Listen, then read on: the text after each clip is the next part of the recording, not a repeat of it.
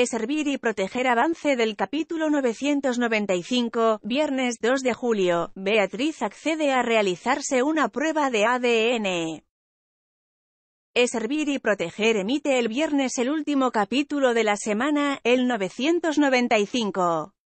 A cinco capítulos de la entrega número 1000 y del final de temporada, la policía está más cerca que nunca del asesino, y el, de cumplir su venganza.